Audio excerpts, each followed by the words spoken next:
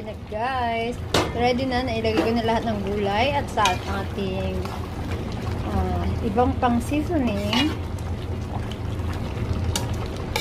Ready to serve. Yung ating kare-kare.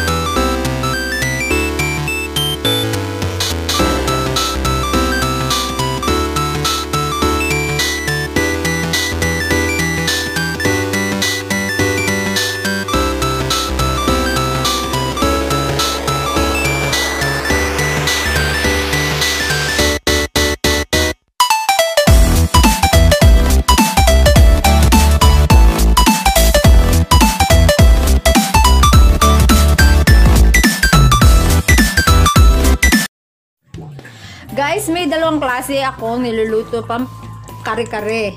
Merong pata ng baboy at minsan naman ay karne lang ng baboy. Pinaka-karne, ano, ayaw ng iba ng pata, iba naman gusto nila pata. Minsan naman, bakang kare-karing baka. Depende sa request. So, ngayon, ang lulutuin ko po ay karne ng baboy. Igigisa ko muna siya ngayon para sa kare-kare.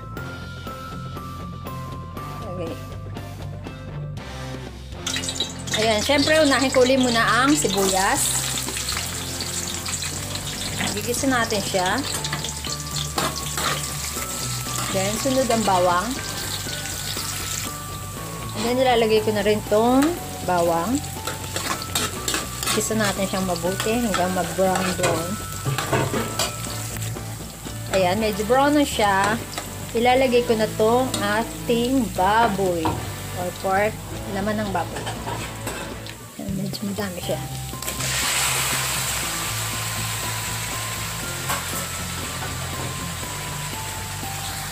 Then, haluin natin ng mabuti para madami yung ano.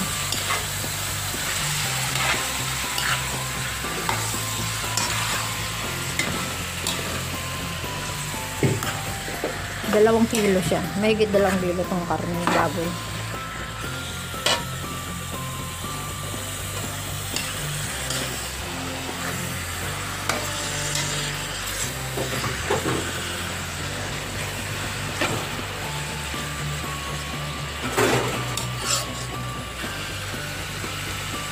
And then, pag naggigisa ako kasi ng mga karne, nilalagyan ko na siya ng asin kahit ano para yung karne ba ay maglalasa siya. Ayan. iodized salt. And then lalagyan ko rin siya ng konting paminta lang pero kahit hindi ah depende sa inyo. Haluin natin.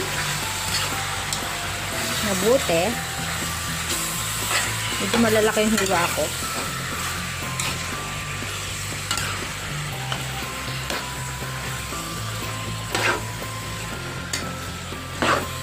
And then, takpan natin hanggang maluto yung karne ng baboy or pork.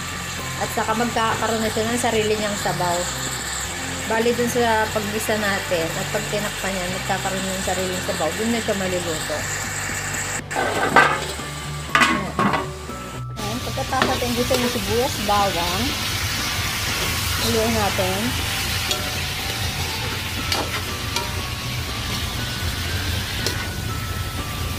hanggang sa maluto yung ating karne.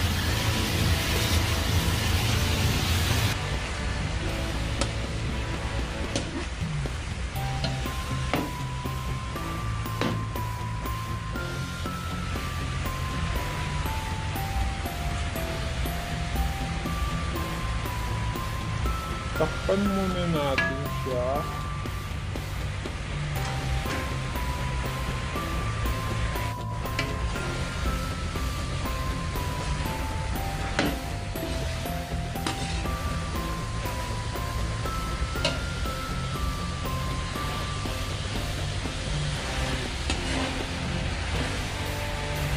Yan, haluin natin siya. Ngayon, dahil pang naluto na yung kanyang karning back. Yan. Nagkakaroon na siya ng mantika. Dahil medyo mataba yung mga karne.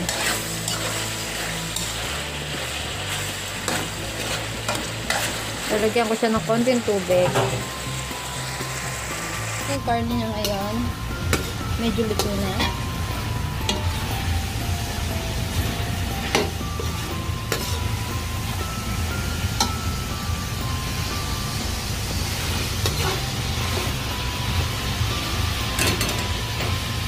Lagyan lang natin ng konting sabaw.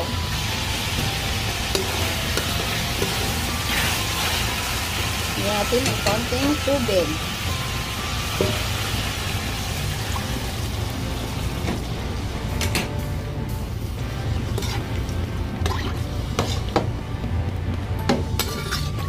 At pakuluin rin natin.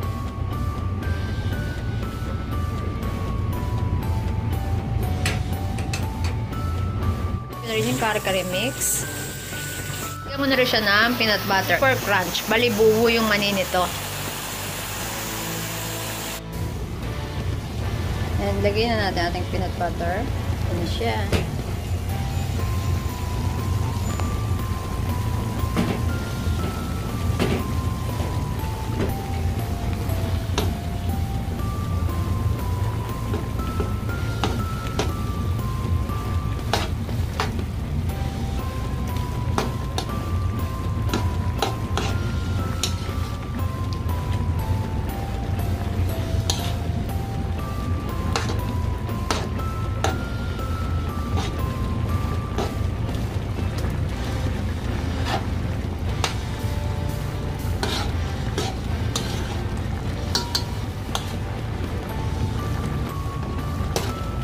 Halu-haluin lang natin with peanut butter. Ayan, ayan yung peanut butter.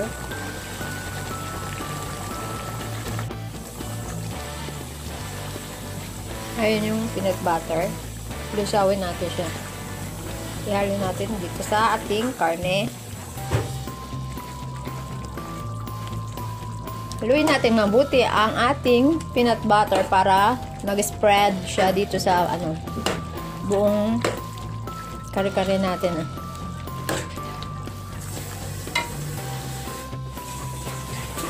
Ayan, hinalo natin siyang mabuti. Then, pag kulong-kulong na siya, ilalagay ko yung ayan, haluin natin siyang mabuti para nag-spread na yung peanut butter. Ngayon, ilalagay ko na rin po yung ano, mga gulay niya. Gulay. And then, una natin ilalagay is yung talong. And then, sitaw at sapa.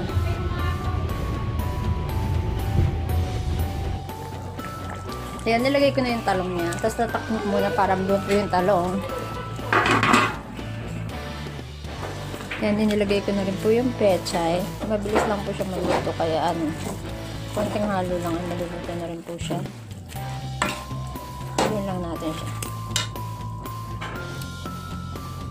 Ayan guys, konting kulo na lang at pwede na siyang iserve.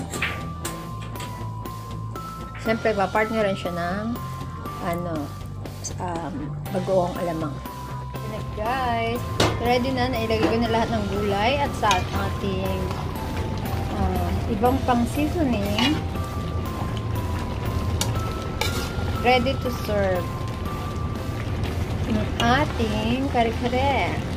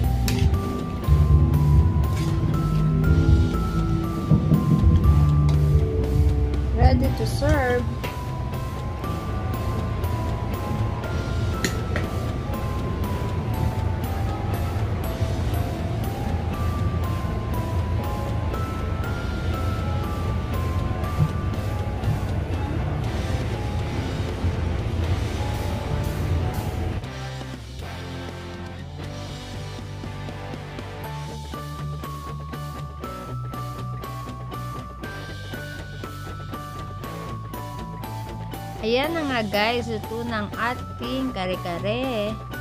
Let's eat. And please do like, share, and subscribe my channel, Christian Takim, and click the notification bell para po ma-notify kayo every time na may bago akong video i-upload. Thanks for watching! Bye-bye! Mmm, yummy! Yum, yum, yum!